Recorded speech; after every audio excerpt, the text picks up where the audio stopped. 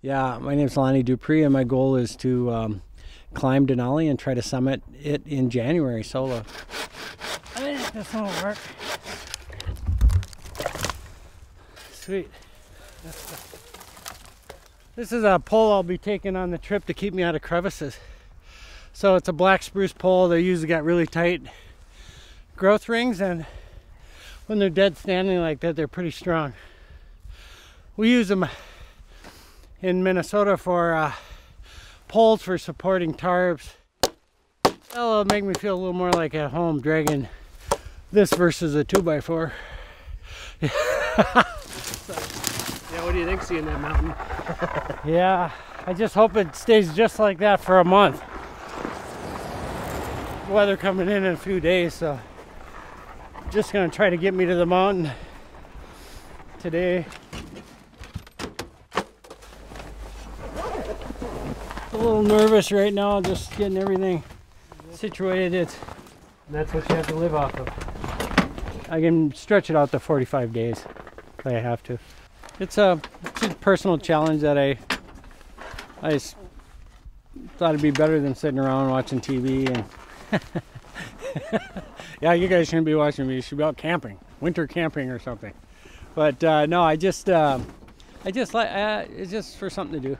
Yeah, and uh, I've been doing this kind of stuff my whole life, and it's it's uh, I, it's good for me to get out of my comfort zone.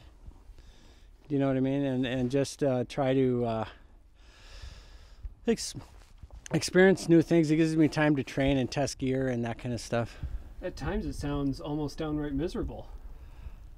Well, it can be, but I've been doing this long enough where um, I try not to get miserable, and I dress and eat properly, and have good, really good equipment. So if you, it's a combination of those things: taking care of yourself, having the right equipment, and not over, not overdoing it. And uh, how old are you? Mm, I'm 53, so it's um, a little harder to stay warm. So I got a, a couple extra. I got an extra pair of long underwear in there. Actually, it's a big down suit. really big pair. a really big pair. Everybody feeling it? Yeah, ready? Ready to spend the night together? All huddled up? We're all gonna get really close. you got the butterflies, you know, but having butterflies is good because uh, that, that little bit of nervousness keeps you alive, right? Here we go.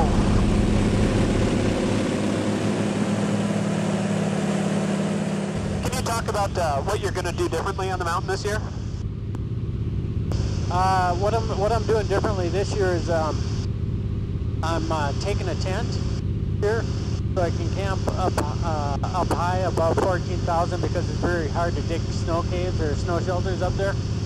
And uh, the tent is small enough will fit on ledges and stuff, so that's okay for the west buttress. But uh, um, I'm taking an extra sleeping bag that I can take up high. It's a little warmer. I'm taking a down suit. Uh, the other thing is I changed up my diet a little bit, a little higher protein and, uh, stuff that's more palatable so I can uh, actually eat it when I get up high because you lose your appetite when you get up high in altitude. Um, and uh, I'm taking a, uh, a, a, different, a different type thermos. It's a little bigger for holding water and that stuff. What have you learned for the most part on this these expeditions? Uh, you need patience, but uh, really you just need patience with the weather. Because uh, my kit's been pretty good though each time that I went. I just basically fine tuning it a little bit, but it's the weather that's really held me back. Uh, once you get up high, you just can't take any chances going from uh, 17 to the summit unless the weather's good.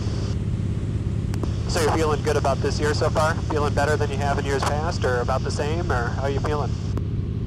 Well, my first year was the most successful project because I made it to 17 lickety split, feeling great.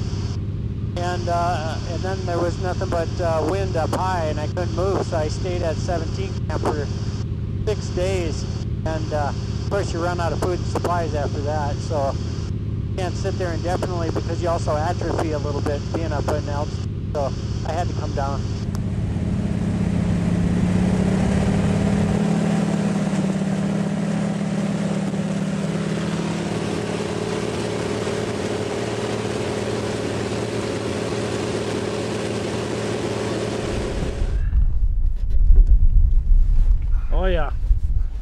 Shortage of snow.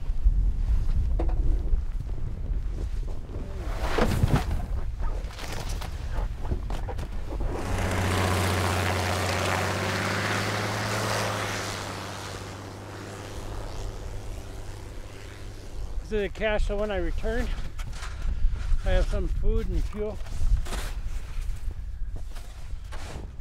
Does it feel good to be here? Yeah, it's a lot of prep. Two years of prep, prep work. You know, took a year off, so it was a lot of preparation. Long time coming. Yeah,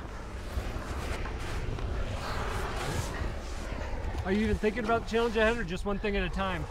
yeah. I never think. I never think past day one. I just do one day at a time.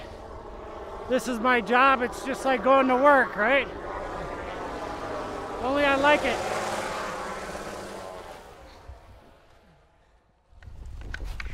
Can you tell me about these skis? Yeah, these are yellow birch. They're uh, uh, yellow birch uh, from a from a tree uh, off my property in Grand Marais. And uh, yellow birch is pretty darn strong. You made these? Yep, I made these. I steam bent them and uh, carved them in my shop and put a little camber on them.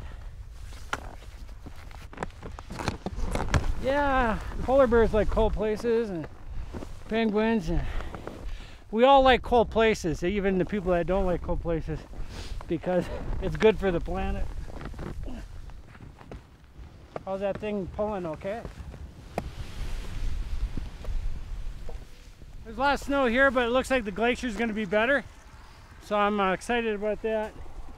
Looks like it'd be a little more uh, wind packed, so I don't have to worry about bucking through all this snow. I'm going to try to concentrate on just getting down to the glacier uh, tonight in camp while I still got some usable light. This will be almost a month long. Yeah, it'll be a month if all goes good. If I get storm after storm, though, it could be a month and a half.